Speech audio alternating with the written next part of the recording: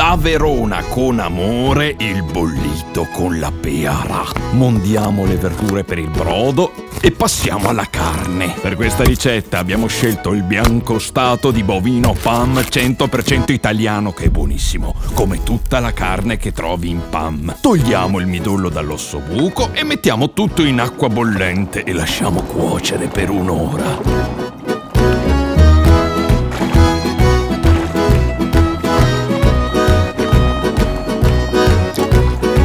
Intanto grattugiamo il pane e sciogliamo il midollo con del burro in un tegame.